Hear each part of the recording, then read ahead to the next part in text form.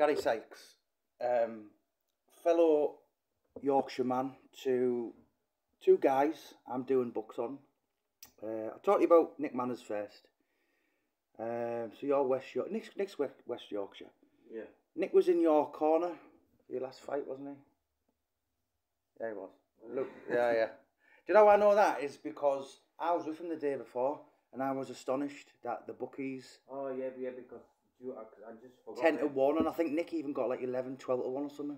Do you know what I mean? It was unbelievable. But that, them odds were ridiculous, really. Consider I know the, the outcome was, Yeah, but- we passed it, definitely passed. yeah, yeah. But Nick, so Nick's got a biography called Front, Gotta Get Through This. Uh, who's done the foreword? Joe Calzaghe's done the foreword.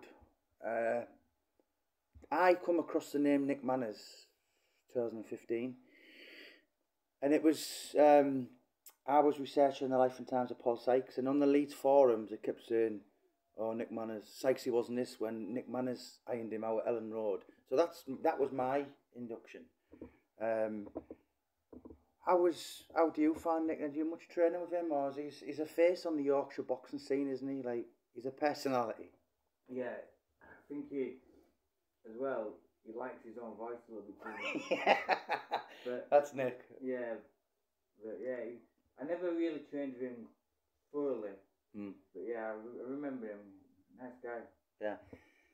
Part of the uh, Josh Warrington team for over eight years, maybe eight and a half, something like that. So amazing, really, when you think how. I, I'm not being funny, but I can't see any. There's no young kids in Yorkshire that jump out and think, particularly Leeds. Do you know what I mean? Like who will do what Josh Warrington's done again? No, there's a guy from Julie called Corey O'Regan, and he's he's one to watch. Is he? Yeah. You know, but in the greatest of respect, I just can't see the your Jack Batesons and all that going to. When you think of Josh Warrington's done it, British, Commonwealth, Europe, every level, intercontinental, whatever. Um, Nick Manners, is so his book is obviously covers the incident with um, Paul Sykes. That's the first chapter actually. It's because obviously that was the second knockout of the night. So Nick fought Elland Road. Um, guy Lee Crocker, who'd, who'd been on a door for years and boxed and never ever been stopped, and Nick Nick flattened him in about twenty one seconds. Broke his leg on the way down as well.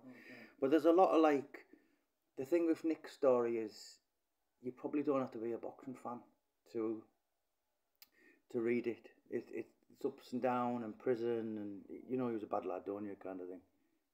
Kind of, yeah. the, the first time I got to know, I heard about Nick Mm.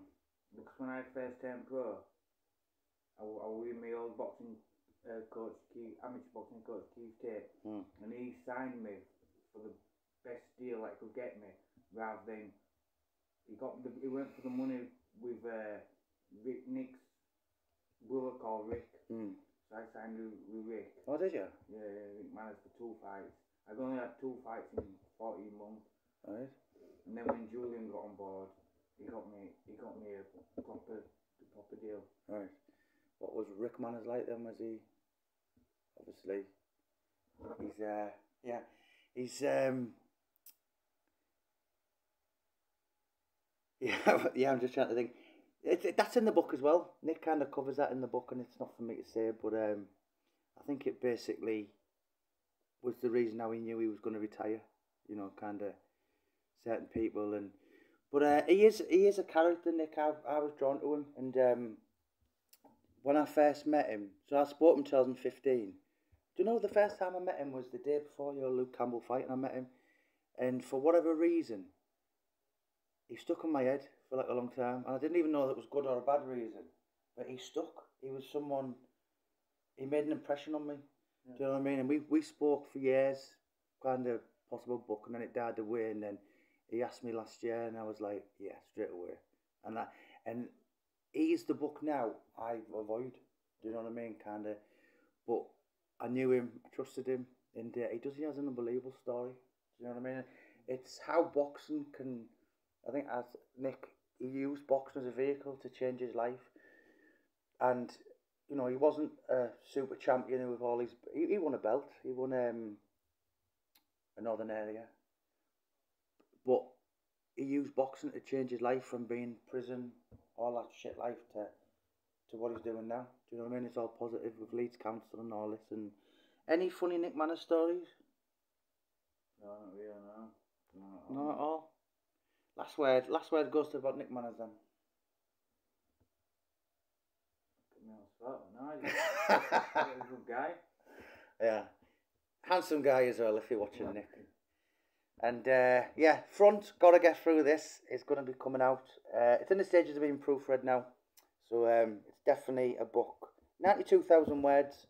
So I think the average book in this genre, genre, know how to pronounce that name, is uh, 70 to 80,000 words. So it is a big, big book.